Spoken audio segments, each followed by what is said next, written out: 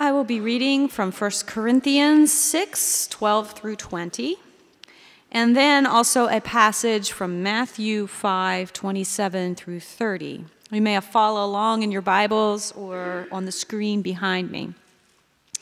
1 Corinthians 6 12 through 20.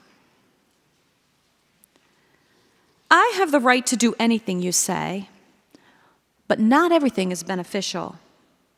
I have the right to do anything, but I will not be mastered by anything. You say, food for the stomach and the stomach for food, and God will destroy them both. The body, however, is not meant for sexual immorality, but for the Lord, and the Lord for the body. By his power, God raised the Lord from the dead, and he will raise us also.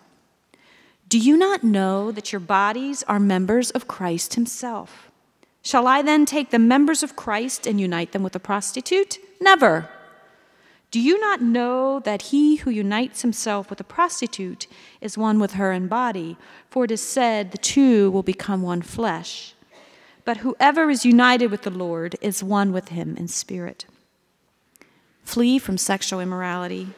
All other sins a person commits are outside the body, but whoever sins sexually sins against their own body. Do you not know that your bodies are temples of the Holy Spirit, who is in you, whom you have received from God? You are not your own, you were bought at a price. Therefore, honor God with your bodies. Matthew 5 27 to 30.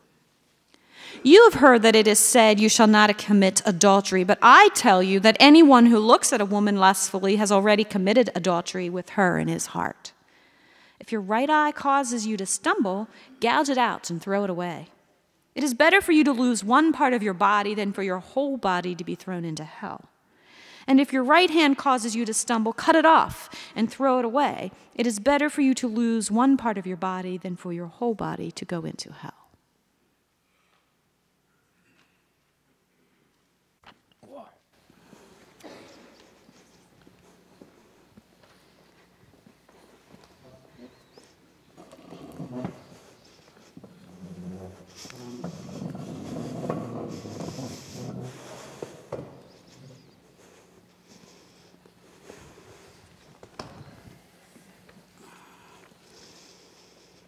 Do you want to move forward? Okay.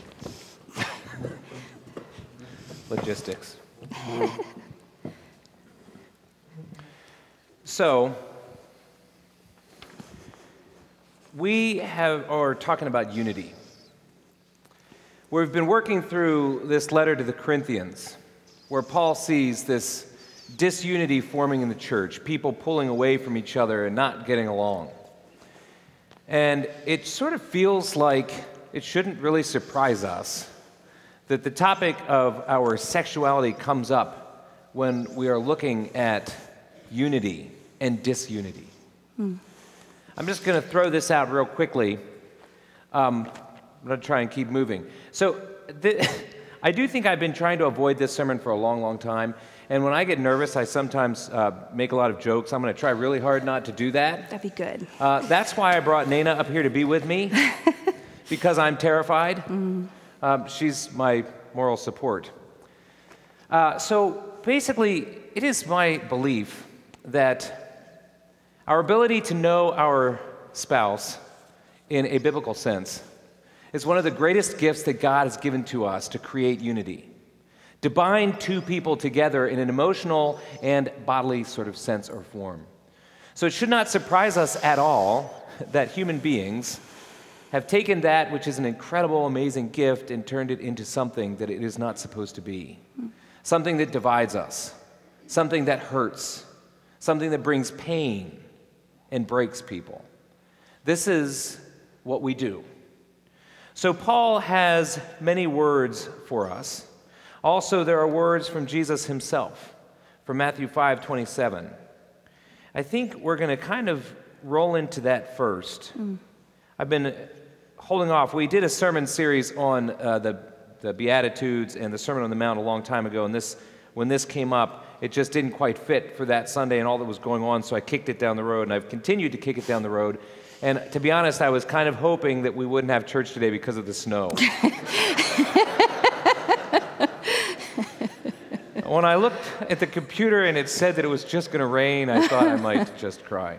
Um, so Matthew the 527, Nana, um, says that we are supposed to gouge out our eyes if we look upon someone sinfully.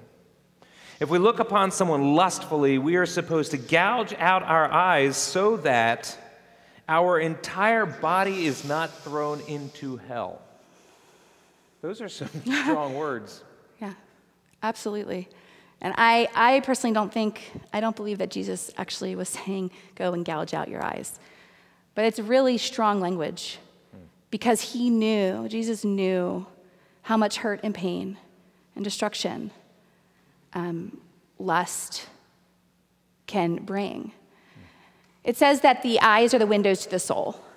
And so we often hear that and, and we often equate it. And it's true, when you look into somebody's eyes, often you can see what they're thinking, what they're feeling, what they've been through, the pain that they're feeling.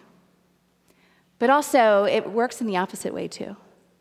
So, the things we look at, the things we see, the things we watch, the things we allow our eyes to see, go into, those things go into our soul. And it starts with the eyes. It all starts with the eyes. And so, what we see, we are taking into our soul. In a way, it's kind of, you know, I, I equate so many things to eating. In a way, it's like if we're eating garbage and we're intaking garbage into our bodies, our bodies will express that. We will, mm-hmm. you know, we will become unhealthy. Yeah. If we are taking in things with our eyes, it is making unhealthy our very spirit, our very souls. Now, he used the word lust here. This is not just a looking, um, sort of, it's not just a looking at something and saying, well, isn't that beautiful? It's a looking at something with a deep longing and desire to have. Mm-hmm. I look lustfully at cars. Or we might look lustfully at houses, or I might look lustfully at a chocolate chip cookie, and we look lustfully at people. Mm. And when we do that, those things, like the car, like the house, like the cookie, become an object, something to be conquered, and not a human being.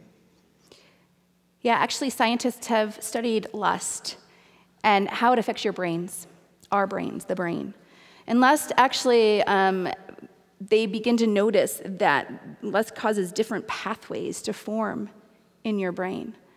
Um, and lust starts becoming these a reality to us. These fantasies of what we want, these desires become so deep um, our world becomes a fantasy world and, and this dissatisfaction we have we don't have it we don't have it we don't have it we need it we need it. And like you said people all of a sudden become objects. It takes the humanity out of people and out of this world. Um, and dissatisfaction um, then begins to leak into our marriages. It leaks into our relationships. It leaks into our church community our neighborhood um, and causes such destruction and such pain uh, Nate, it almost sounds like we're talking about the P word. Is it time mm. to talk about pornography? it's your show. Go ahead. Okay. So, statistics would say, so I've heard, statistics say, and this, I think this is going to blow your mind unless you've heard this from me before, but statistics have found that one in four Christian men so you would think maybe one in four church going Christian men, let's not do the math, mm-hmm. one in four Christian men are addicted to pornography. One in four Christian men are addicted to pornography. I think it starts with little things. You know, for many, many years, my mother got the Sports Illustrated, sw- uh, Sports Illustrated swimsuit issue for me for, my, for Christmas. No. my mother got Sports Illustrated for me for Christmas. Now I'm really starting to sweat. and every year, that Sports Illustrated swimsuit issue would come. And this, the question is, what do we do with this? You know, and it's that whole, you know, there's got to be some really good sports articles in there somewhere, I'm sure. And we start to look and we start to page through and we see these pictures of perfect women that are so perfect it's unimaginable. And those thoughts go, start creeping into our minds. And as Nana said, the mind actually starts to be flooded with um, like the pleasure um, the, the synapses and chemicals in our brain that are saying, hey, this is awesome, I really like this. It's how God gets us to come together to have lots of children and multiply and make the earth um, filled with people.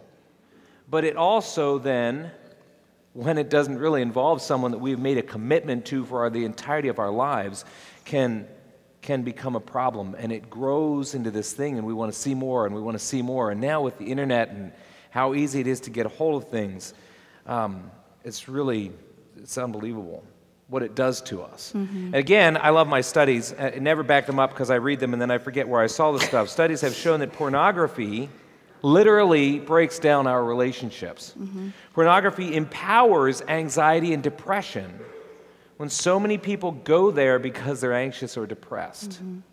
Pornography also creates deeper sense of feelings of loneliness and again, it's often lonely people that go there, mm-hmm. and it makes it worse.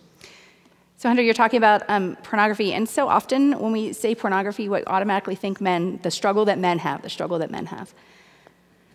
But in reality, women struggle with pornography. And, and, the, and the statistics are alarming as well. Um, as many um, men that struggle, women struggle as well. Um, and like you were saying with the internet, so often, um, you know, there's those romance books out there that we never wanted anyone to see us reading, but now with Kindles and the internet, everything is can really be in the dark. Our sins can be in the dark. Um, the other day, Kevin and I were having this discussion, and I turned around, and there is Adam, my youngest, all snuggly in my bed on my phone. Um, and I looked to see what he was playing, and it was a Mickey Mouse game, okay, so just so you know. Um, but I thought, my six year old, my six year old, he, he knows how to, how to get on my phone better than I do. I mean, he's posting stuff on my Facebook account, and I don't even know, you know, like the games he wins. And people are like, all right, Nana, you're playing Mickey Mouse? Um, and, and so I was thinking, really, Satan works this way in that it's not all of a sudden you wake up and, oh my goodness, I'm addicted to pornography. But it starts with the little things. And he wants to, he wants to hook our kids.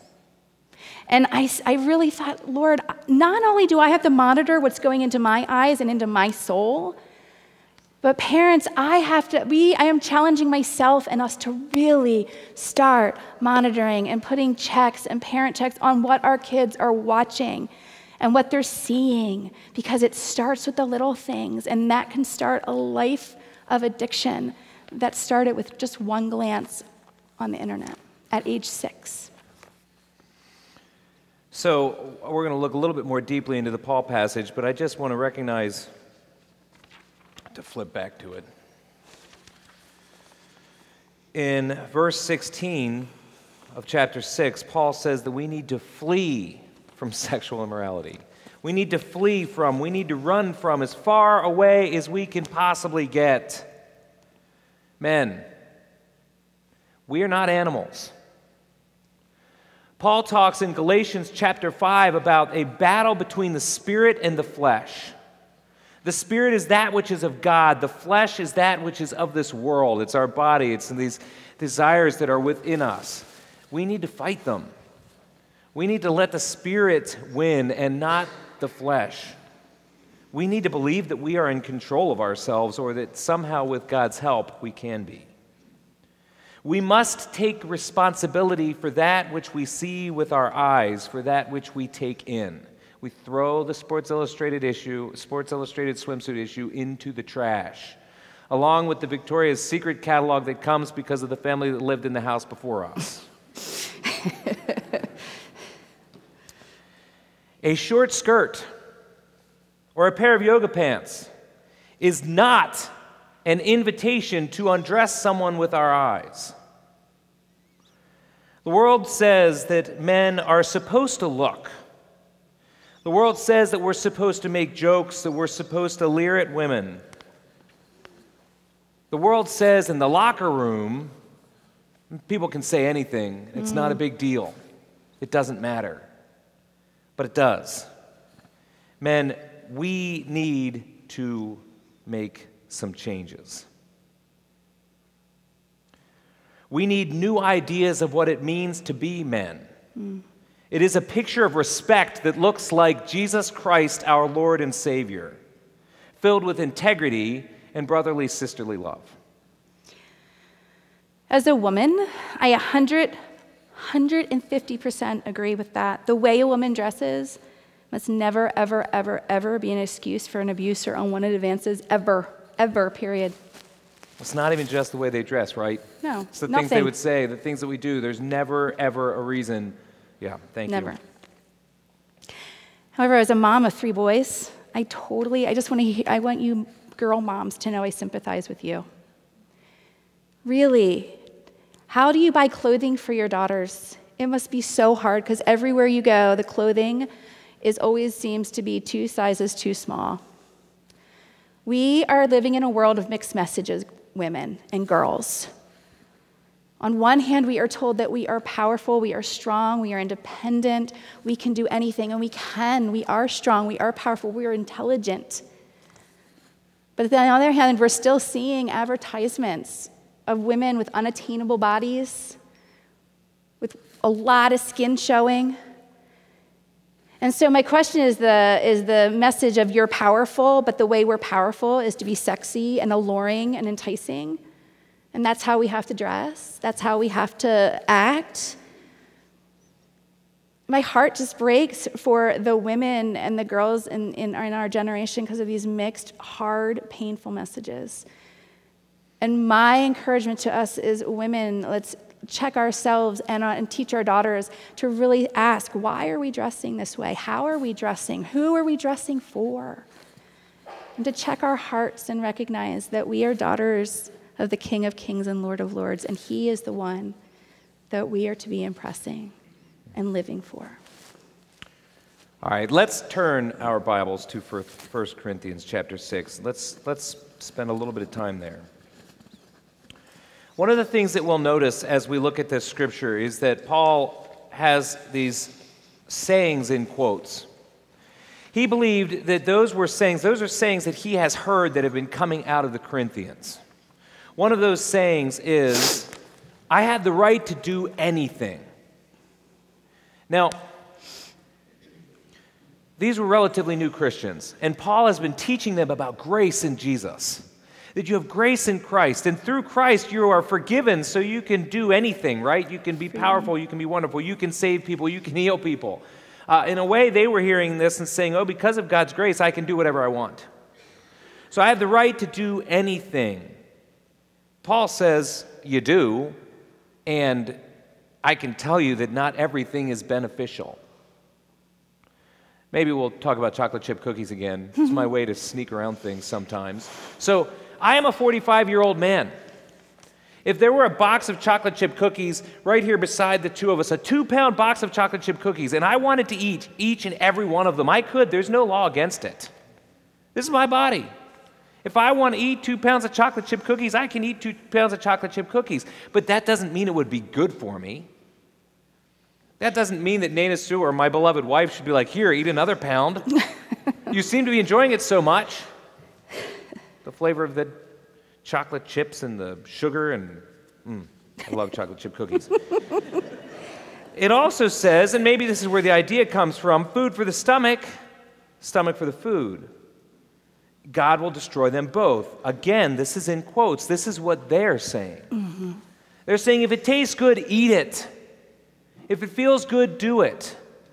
And by uh, this body is going to be destroyed anyway. We're going to be resurrected, right? Our soul is going to be resurrected. But we remember, I preached a sermon a couple weeks ago. A part of Paul's issue with these Corinthians was that they believed that our body would not be resurrected. They believed that the body was not part of the resurrection. Resurrection. This body is not even a part of our experience with Christ. And Paul's saying, no. Your body, somehow, I have no idea how, and I believe it's going to be without achy knees and maybe without a few pounds, hopefully. this body is going to be resurrected. What we do to the body now matters. Mm-hmm. What we do to our bodies now impacts how we worship God, it impacts how we serve God. The protection and care that we give to our bodies is important. I even talked about prostitution. You know, at this time, prostitution was legal. It was almost expected. But we know what Paul says about that. We come together, we become one flesh. It matters. It's important how we go about that. So um, I keep hearing you talk about our body, my body, my body. Um, I was on vacation with my three boys and another teenage boy, and I am telling you, the phrase I heard over and over and over again is, Where's my phone? Where's my phone? Where's my phone? Has anyone heard that from their kids? Where's my phone? Where's my phone? Finally, I was so frustrated, and I'm hoping that my English people in here are going to say that I'm right. I finally yelled at them. I was like, What is the pronoun in that sentence? Hunter, do you know what the pronoun is? My. My, that's right. My phone. They were so cons- were so focused on me, right? Me, me, me. It's my body. I'm not going to hurt anyone. Me, me, me. But if we get back to what lust does to the brain, so the chemical in the brain that kind of um, is our pleasure, our gratification, is called dopamine. And when people um, use um, abuse drugs and alcohol, that is the chemical that is released. And they become addicts and they need it more and more and more. And so we were talking about how the world all of a sudden becomes just objects, and uh, an end to a, a, a, means to an end. And so oftentimes we hear about addicts um, stealing from their family and their friends and other things. And they don't, I mean, you're not family anymore. You're just a means to an end. Um, and that is what happens when our bodies are seeking that gratification, that lust. So, um, you know, that need for more money, to make more, to get that car. It doesn't matter who I step over. It doesn't matter what I do. It doesn't matter if my family is destroyed because of it. It doesn't matter if I don't see my kids until, you know, they're growing up and I miss out on it because I want that and I want that money. And then with sexual gratification, it becomes more and more and more, and people do not aren't people anymore. They are means to an end. And so women and and men, because there is, please hear me, there the, the, the abuse of women we hear a lot more about, but there is sexual assault with men as well. And men and women become objects, a need to, a means to an end. And so all of a sudden, we're hearing these names in the news Sandusky, Nassar, Spacey, Weinstein. Weinstein. They were thinking about their, my gratification, and they leave behind a wake of pain and brokenness and hurt. So it's not my body. We have to recognize that the things that we do, the, the need for gratification is hurting those around us as well and destroying families, churches, communities, and our world. And we know so obviously through the Catholic Church, but it's not just the Catholic Church that it mm-hmm. enters this body. Mm-hmm. It's a part of us. And I think the church has responded poorly. I guess there's a part of me that even feels like, as a pastor of a church, on the behalf of the greater church, I need to confess. We have failed. We have failed in our job to make the world a better place. We have failed in our job to bring healing. We have failed in our job to bring hope. I think that abuse scares us, mm-hmm. and we don't know what to do with it, so we deny it or we pretend that it's not true. When we do this, we hurt the victim even more. Mm.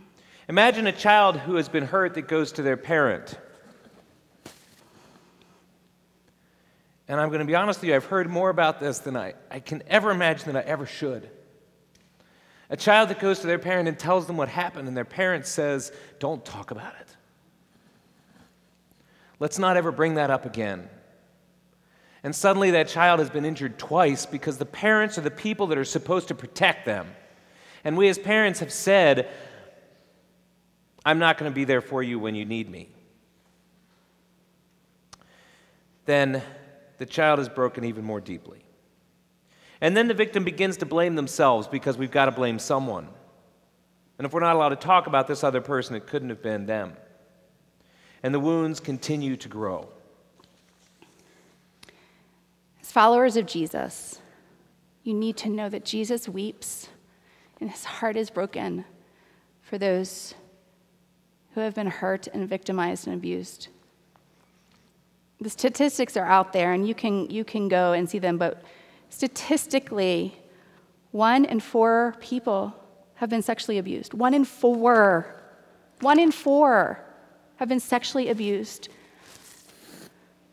It's a real issue, and we as a body of believers have the ability through the grace of Jesus, the love, the healing power of Jesus, to build up a community of believers, to surround people, to love them, to, to empower them, to walk through a healing process, and to know who they are, who they were created to be in Jesus Christ.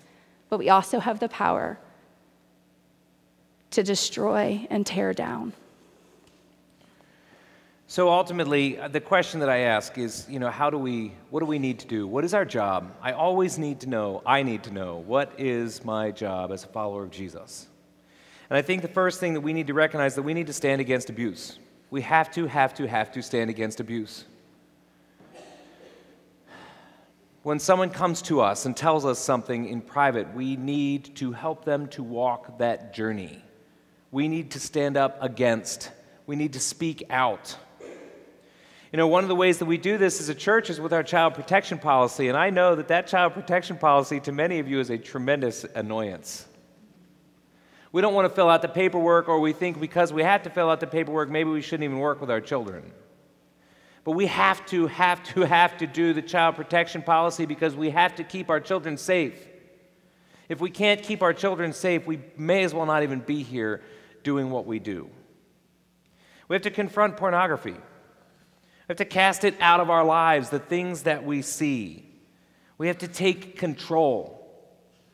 And maybe for us, if we are addicts already, we just need to fall on our knees and confess and pray. And then we need to find groups to, that we trust, that we can talk to, that will hold us accountable. There's a scripture in Revelation that talks about um, Satan is destroyed in the end by the blood of the Lamb which we had nothing to do with. It's Jesus came and died, his, his, his blood was shed, and that victory was won. But the second part of that scripture is Satan was destroyed through the power of their testimony.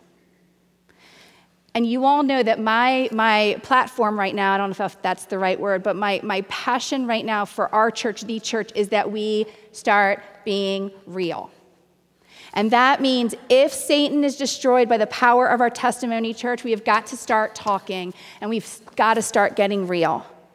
We, Hunter and I, and the staff want you to know that this is a safe place. If you have been hurt, if you have been abused, if you have, if you have been a victim in any way, we want you to know that we want you to come and talk to us. Our hearts are breaking along with yours. We want to walk with you through this journey. It is not your fault. And we want to be a safe haven for you where you can begin this journey of knowing who you are, that you are beautiful, that Christ is weeping along with you, and his desire is that you know you are his beloved. We have to start talking to one another and we have to start holding each other accountable. We're also, we want to be a safe place where we can be real with one another and say, This is my struggle. Sister, this is my struggle. Brother, this is my struggle. Will you walk with me as I get healing through Jesus? Finally, I think we need to create new images of what it means to be men and women for our children. I think that we need to teach our boys that they are allowed to cry. Mm-hmm. We need to teach our boys that bullying is completely unacceptable. We need to teach our boys how to treat women with respect, how to treat people with respect. We need to teach our daughters that they are strong and independent. We need to show them that yes. with leaders like Nana Sue up front and leaders in our church that are women. We are strong, we are powerful, and we have say. We can, as men, teach our boys how to be a different kind of man. Now, we had a video. There's a really, I, I, I never ever would suggest anyone watch a video, uh, a Gillette video, to learn uh, because I feel like you need to shave. I know there's some wonderful people in here that have awesome, wonderful beards, but there is on the internet, and I think you can go and try and YouTube it because for, we couldn't quite get the system to work this morning. But there's an awesome video that Gillette just put out about um, raising up young boys that's saying, you know, is this, this their, their motto is, uh, is this the, the, wait a minute, something about the best a man can get. Mm. And what they're saying is, let's make the best boys that we can possibly make. So we want to train up and raise our children to be different from what we've experienced in our world. We can change this world, we can make it a better place. Mm-hmm. And I think that's how we're closing that up. We're going to go into and we're going to participate in communion today. And I'm going to go into some details about how we do that because we have to or we get confused. But I think the most important thing for us as we take communion today is recognizing that we are a body of Christ together, that we need each other, that we need each other to survive. And Jesus' blood, his forgiveness, is here for each and every one of us. And then we need that forgiveness, and we need the bread of life to live and to grow, and we need each other. So we'll participate in communion today with those thoughts as a backdrop.